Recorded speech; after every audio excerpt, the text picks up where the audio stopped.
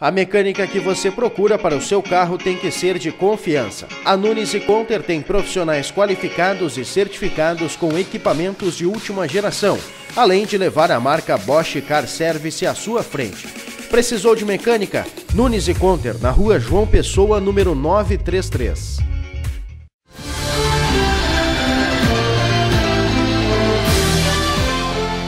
O relatório de balneabilidade da FEPAM indicou na última análise que as duas praias de Tapes que são analisadas estão em condições próprias para banho.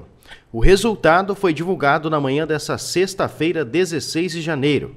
A Praia do Pontal, local que estava considerado impróprio no último relatório, já está liberado, e a Praia da Curva, na Pinveste, junto ao camping dos Pinheirais da Lagoa, também está liberada, há mais de duas semanas. As placas indicativas é que continuam as mesmas, com as condições de em análise, o que tem gerado dúvida nos banhistas.